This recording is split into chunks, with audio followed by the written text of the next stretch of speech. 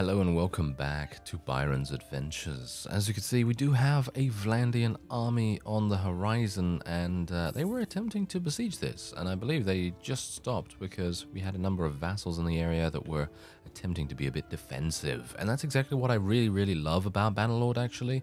The amount of, mm, shall we say, proactiveness that the vassals that you have under your command tend to display that really makes a huge difference to the enjoyment of the game. And that's exactly also the reason why when you persuade someone and they end up defecting after you spend a huge amount of money to convince them, that's also why that is really, really painful. In comparison to now, where they actually stick around for a little bit longer. for a little bit longer than that. Of course, I'm not entirely sure if they stay forever because I don't really know about that. I, I, I, I think I've seen one clan in particular leave my uh, leave my faction, and I believe they had a pretty significant relation. But that could just be me imagining things, because I do tend to get a little bit confused as to the names of the various clans.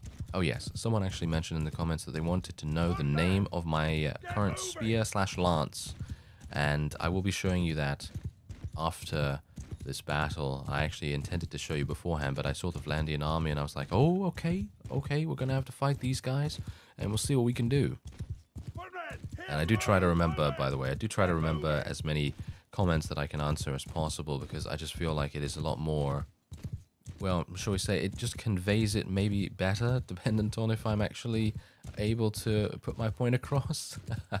it really depends because you know me, sometimes I uh, don't really make that much sense and uh, that's that's not not your fault. That is not your fault. It's just literally me uh, not making sense ever.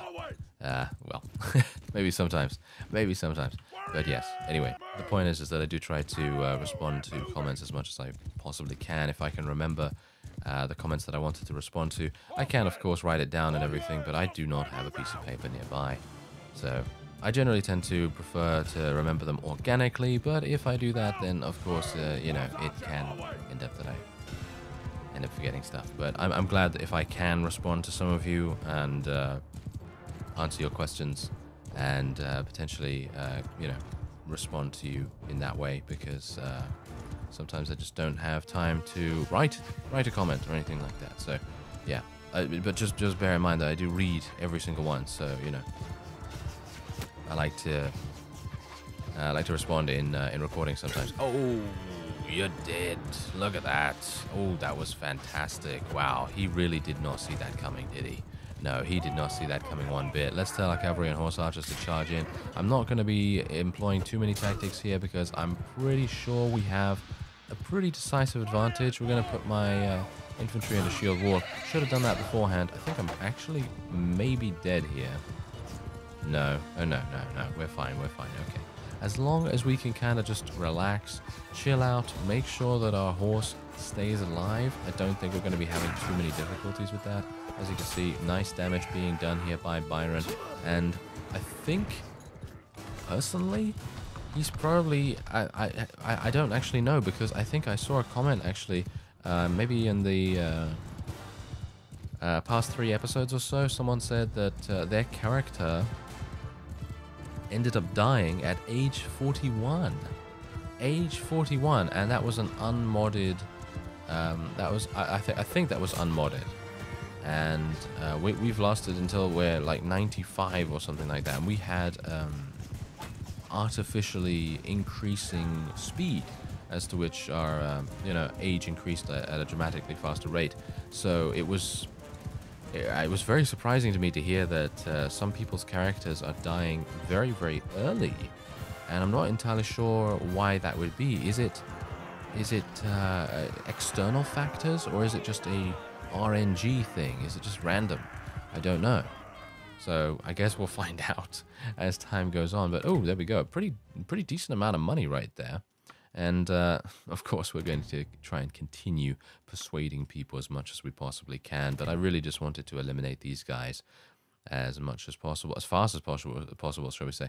Okay, I'm just going to be taking all of the troops because, let's face it, one of you, uh, one of you is indeed correct in the uh, in the comments. There's actually a number of you, obviously, that are correct, but I'm wanting to specifically highlight this one comment where you said, "Well, even if you do auto resolve, you're going to end up losing quite a few units, and then you're going to have to recruit those." And it's going to just waste as much time as the auto resolve would have saved. And yes, you're correct. Absolutely, you are correct about that. However, the one thing that I just wanted to say is that generally, when I do an auto resolve, I'm going to have such an extreme combat strength advantage because usually I will not try to do a uh, an auto resolve at like 50 50. So if the enemy has 50% combat strength and I have 50% combat strength out of the total bar bar length, then I usually won't do an auto resolve at that point because as you are correct, it would take way too many casualties for my side to really make that worth it. And as a result, I would much prefer to head in and actually do damage manually. So, yeah, but that's the point. Generally, I will only do auto resolve if I can be assured, pretty much 100%, that I will not be taking too many casualties uh, from that. And, and I'm now kind of figuring out where we should go next because I am a bit in a bit in two minds about what we should do. Shall we go for Praven? Shall we go for Ocs Hall? It might it might make sense actually for us to just call for an army. I knew oh yeah, I do need to go and uh, buy some buy some food. Let me see if I can actually find some here. Grapes? Uh, get out of here with your grapes. I mean, I don't really mind grapes, but uh, I prefer grain because grain generally tends to have larger stacks um, but obviously, I don't really want my army to literally just eat, you know, grain or grapes or any singular food. To be honest. Ooh, there is a large army over there. I think has just. Uh, I think they just disbanded actually. Okay, don't really need to worry about that. But yeah, as you can see, I'm only buying 46 lots of grapes, which is kind of awful. So it would be nice if I could maybe find. Oh, grapes? What? Yeah, anytime you see a huge amount of grapes, build a winery. Yes, build a winery or uh, you know some kind of wine press or something like that, because no doubt that's gonna that's gonna really skyrocket like no one's business. So it might make sense to do that. Although Marunath, in my opinion, is a much better place to have a smithy. Maybe Dunglanys would be best for a wine press or something like that. Not entirely sure. All right, so this is this is grain, right? Yeah, this is grain over here. All right, so uh, one thing that I actually wanted to show you is my, of my spear, of course. I almost forgot. I almost forgot, yes. You know me. I almost forget about those things almost all the time. Yes, very good. Anyway, this is it. It is, in my opinion, not particularly good, but I personally like it quite a bit because it has the ability to do quite a, quite a good amount of piercing damage, thrusting damage, and it also has the ability to swing. So if you put it into a two-handed stance, you're going to be able to do quite significant damage to multiple enemies, especially if you're fighting low tier units in comparison to high tier, of course. So yeah, this is it. You, I think you can find it in Empire territory. This is an Empire-based weapon, so you probably want to go and look around the marketplaces there. Or if you're fighting against the Empire, then you'll probably be able to find it in loot. So I hope that helps. Anyway, let's go into Marunath real quick. Ooh, look at this. Oh, very nice indeed. We're actually getting uh, Ov Castle. Ooh, very good, very good. I don't know whether you remember Of Castle from a long time ago in this series where we actually took it, I believe, from the ah, uh, was it Western Empire or Northern Empire? One of one of them at least. And we took it from them, and then they decided. Uh, I think then the uh, Battanians or the Khuzait or something decided to take it back. It was kind of weird, but anyway, We've taken off Castle, so I'm going to be awarding that relatively soon. And we are just going to be selling absolutely everything at Marunath here. Look at that, 21,000 for that. 35,000. What about all of my armor? uh, 181,000. Yeah, that's that's probably a little bit too much, isn't it? That is probably a little bit too much. So I'm just going to sort this by value real quick so that I can just sell the most expensive items first. And I have learned that completely from you, by the way. So thank you very much once again for letting me know that you can use these menus at the top. I just don't, I don't know, I just never use these kinds of things anywhere. you know, websites, games. You know, I just never use those kinds of uh, sorting sorting tools, even though they make it so much easier. You know, they make it so much easier. So we're just gonna sell all of that. We'll get 166,000. I think that is pretty good. Oh, huge amounts of grain. Okay, you know what? We're not gonna get all the grain. Actually, you know what I can do? We're just going to get a little bit of it. There we go. We now have over a thousand grain. But look, look, look at the, no, actually not over a thousand. We have 964. But the point is, is that we have 60 days, only 60, after we just purchased a huge amount of grain. It's crazy.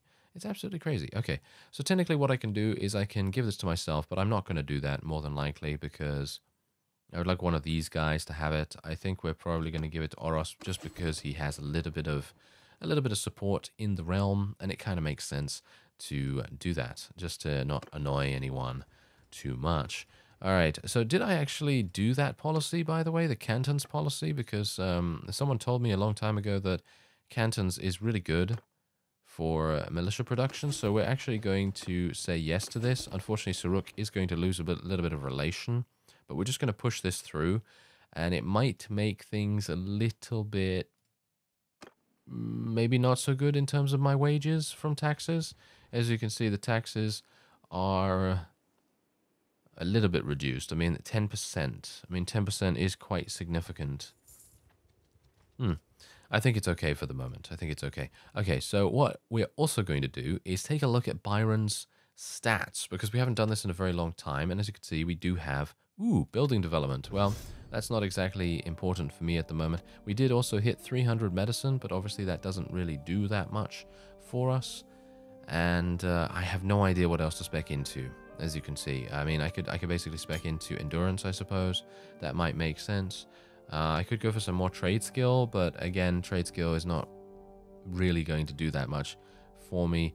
Uh, I could do athletics, but again, athletics, mm, I, I, guess, I guess, why not? I mean, it's going to give me plus 3% movement speed, which might actually make sense.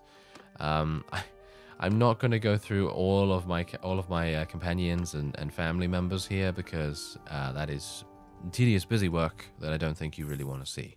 So we're not going to do that right now. I will, I will do that off screen or something like that. If there's anything particularly interesting, then of course I will show you but uh, usually it is literally just taking the uh, regular traits that we always take, and there's nothing really to worry about there.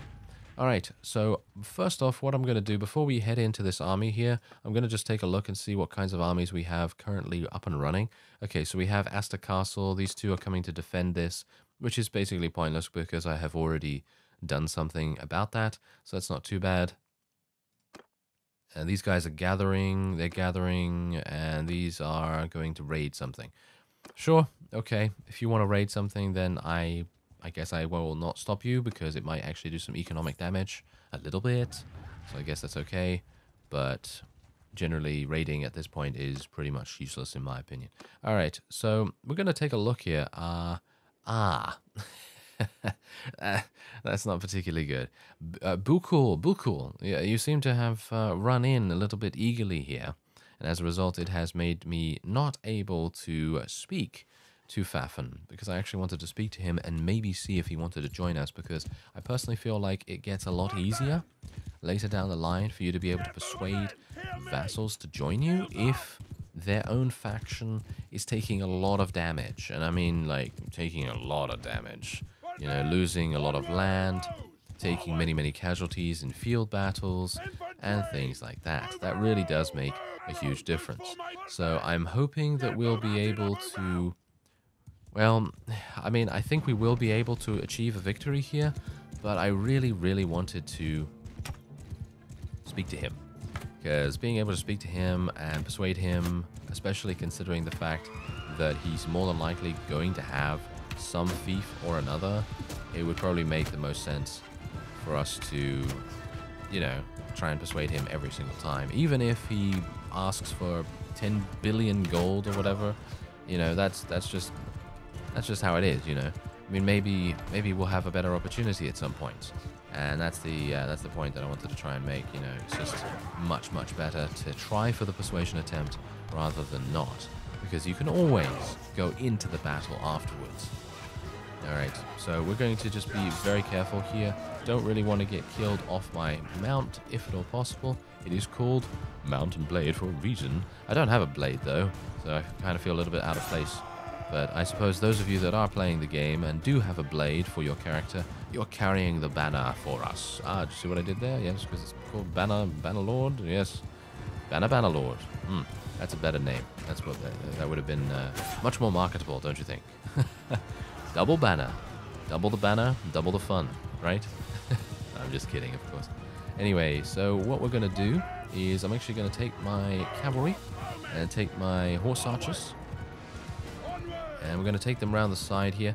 I think we're doing all right so far. I, I think, yeah, as you can see, the enemy's uh, infantry are just blindly charging in pretty much, and I'm going to be telling my cavalry and so on and so forth to charge in now, and let's see if I can do some damage with my spear. Oh yeah, now bear in mind that while, uh, while I do enjoy this spear quite a bit, I will say that it is uh, a little bit Mm, maybe not so useful in these kinds of situations. Like, for example, me getting murdered right here.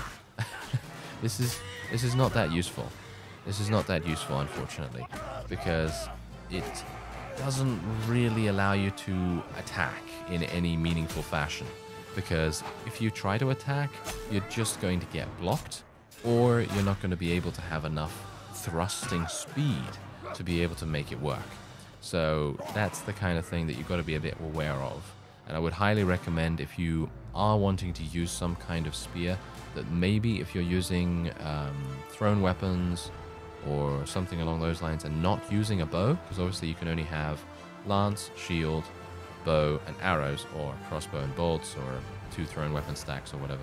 But if you're using thrown weapons, then I'd recommend maybe if you're using a lance as well as a as well as thrown weapons, then I'd recommend doing lance, shield, one-handed weapon of some kind, so axe, mace, sword, something like that, and then your thrown weapon stack.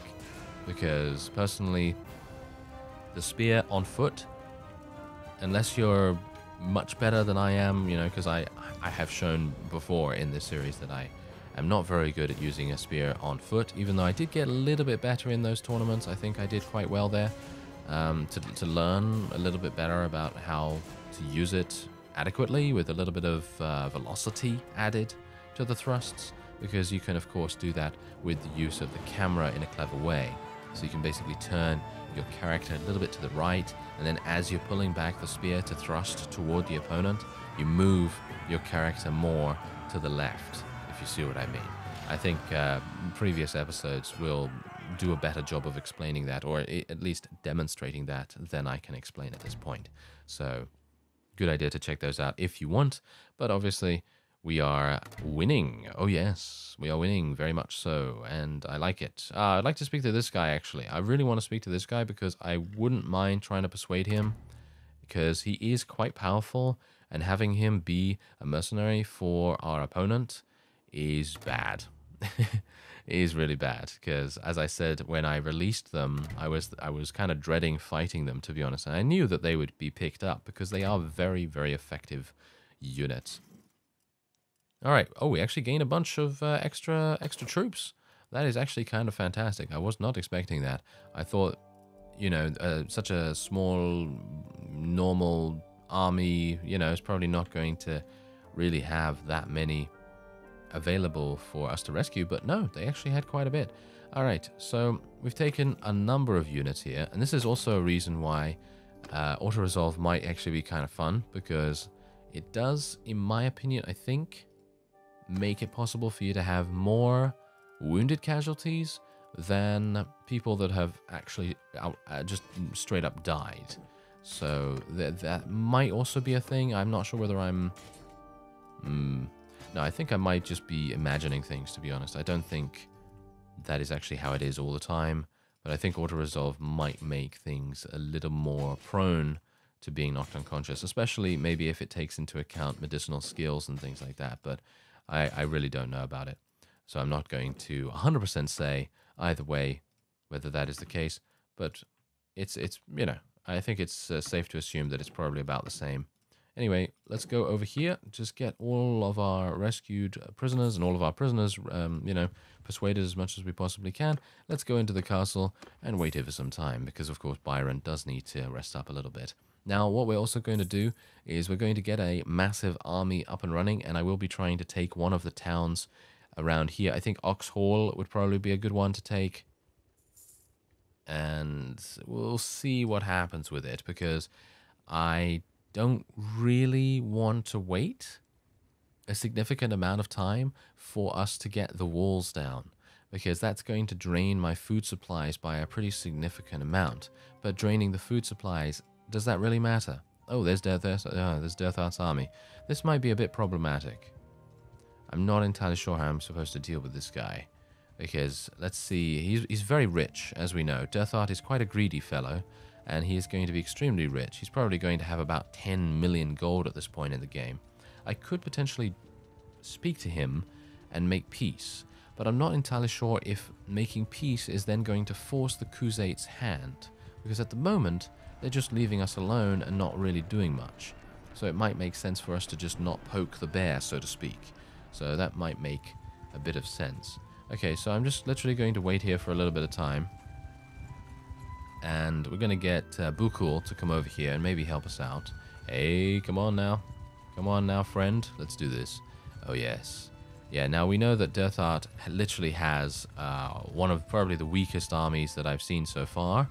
And of course, that is to be expected because he is running around with about three, uh, what was it, 300 low tier units? Yeah, about 300 low tier units. You can see here that he has 34 Vlandian recruits, some Sturgian warriors and things like that. This guy has 42 recruits. This guy has 48 and so on and so forth. And that's exactly how it should be. If a faction is on the back foot and they're losing a bunch of territory, I don't think they should be able to run around with, with high tier units in an instant. So it's really nice that uh, eventually you're able to cause enough damage to a, to a particular particular faction's economy and the way that they do things to be able to reduce their quality of their armies. So that really makes a difference. All right, so let's get ready, shall we? Oh, they're actually really far away. Hmm. Not entirely sure what I can do here about this. Uh, I guess we're going to I'm going to play this a little bit more carefully because usually, you know me, I like to run around, I like to spear people in the face, I like to get speared in the face myself, apparently, as well, because that happens quite often. Uh, yes, much more often than I would like, but, uh, well, never mind. Anyway, let's, uh, let's get my people into a nice position. Uh, this is not really a nice position, but I guess this is the best that I can currently do. Uh, this battlefield is not my favorite by any means. This is one of the probably one of the worst battlefields for me because it's uh, very very uneven terrain, so it's not very good for cavalry, and it's not very good for archers either. There doesn't seem to be that much height advantage to be gained from here, unless you were to walk over to this particular uh, little hilltop. That might make sense. Mm. Should I do this? I mean, we could, actually. I just don't know whether we're going to be in time. That's the point, because generally the AI likes to be quite effective, effective, quite aggressive, quite eager to do what they want to do. So, wow. Okay, don't die, Byron, please. oh, that was awful. Yeah, that was really, really bad. But at least we uh, kind of distracted them a little bit and uh, maybe maybe thought to themselves, oh, look at that commander. He's an idiot, isn't he? Yes, we don't need to uh, really rush to charge. Let's just wait until their archers get into a decent position. Yes, that's what they're saying. I very much hope. Very much hope that that is indeed the case. Okay, so let's get my people into a nice position here. And now I'm so low in HP that I'm probably going to die from pretty much any attack. Which I gotta say, is not what I wanted one bit. Let's tell my cavalry to just go over to the side there. We're going to just play a bit more of a commander role in this particular battle until we have kind of seen what the enemy is wanting to do. I don't really want to head in there myself. And I was attempting to do a little bit of, you know, sporadic damage with, uh, with the bow a little bit. But as it stands, eh, we, you know, uh, sometimes you just get that random shot in the face and it just tends to be quite damaging. But I guess I'm gonna just gonna get out my bow and see if we can do some damage with that. Ah, hit the shield, why don't you, Byron? Yes, very good. Ah, there we go. That was a that was a headshot, but no kill. Okay, that's kind of funny. All right, so the enemy is now charging in right here. I'm going to tell my cavalry to once more move past. And we want them to do that. We want them to basically... Oh, they're, they're actually running. That is kind of hilarious. Okay, let's tell my cavalry and horse archers to charge in from the side. Did you see that? Did you see that? Whoa, did you see that right there? That horse was doing the helicopter in the air on the left side of the screen. Go back. It, maybe maybe you can see it. Go back in the video. Press uh, press J. Yeah, the keybind. uh, yes, press J to go back 10 seconds. Uh, if you if you didn't know that, then now you do. Now you do. You can press J to go back 10 seconds, K to pause, and L to go forward 10 seconds. And uh, yeah, a variety of other keybinds are available as well, but those are the ones that I mainly use. Anyway, we're going to try and do some pokey damage, but uh, that's probably not the probably not the best idea. Yes, probably not the best idea. Is it just me, or is, does Byron have some kind of death wish? It seems like he does. I'm not entirely sure why, but there you go. Anyway, this I, I personally feel like the eagle eye view or the bird's eye view is really, really cool when you're having these kinds of battles because you can quite clearly see where the battles have taken place. And look at this. This is a pure line right here, pure line of enemy units that have fallen in battle, and, well, they fell before the might of the kingdom of Byronia. And that's exactly how it should be, isn't it? Yes, that is exactly how it should be. And my cavalry is chasing off a couple of their stragglers, and, well, this is, this is just great. Let's speed it up a little bit because this is just a foregone conclusion now. Very formal, uh, very, very much a formality, actually, to eliminate these guys. And there you go. That is indeed a victory. And I am very, very pleased to say that I think that's probably the last Vlandian army that we're probably going to be seeing for quite a while. So the attackers' army... Ah, they actually had a lot of uh, a lot of people in their army right now, and they actually ended up losing quite a few units. But well, they can uh, they can go off and they can uh, take a load off. They can just kind of relax and uh, they don't really have to do too much. All right, so I'm just going to let these guys go and we don't have to really worry about them. And uh, hopefully we're going to be able to speak to a couple of them because I would like to get Tassanor, I would like to get Aldrich, and I don't think there are any others. Unfortunately, Aldrich does have a pretty bad uh, a bad opinion of us at the moment, which is kind of harsh, but oh well. Alright, so I just took all of the prisoners that I wanted to, in other words, cavalry, and rescued some prisoners as well, I think we did, and then we'll just go and take all of the loot. There we are, fantastic. Okay, so let's take a brief overview of what is actually going on in the world at the moment. So you can see here the Aserai I'm not entirely sure who is still alive. I guess it's Unqid. Unqid is probably still active, running around doing random stuff. Battania is at 4,000. Do you remember when Battania was at 23, 24,000 or something like that? No, no, now no longer. No. Now no longer. Look at that. 25 successful sieges, 30 successful raids. Crazy. Vlandia, as you can see here, only 3,000, just about 3,000 almost and they have had so many casualties inflicted. Successful raids, as you can see, 74. That's crazy. In the Khuzait, we're catching up to them, as you can see.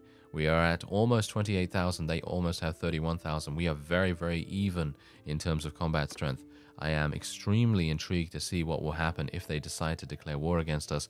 But cross fingers, hopefully they won't just yet. Anyway, in the next episode, we're going to go on a uh, pretty extensive sieging spree, and I probably will be going for Ostican as well as Turby Castle. Those are the two that I will aim to go for in the next episode. But if I can do more, then I would love to be able to. But that is more of a consolidation effort than anything else because you can see here that it's kind of in its own little territory here and I don't want vassals and villagers and caravans running through my own territory to get over here. I would much prefer those caravans to be mine so it makes much more sense. Anyway, that will be it for this episode. I thank you very much for watching and I will see you next time.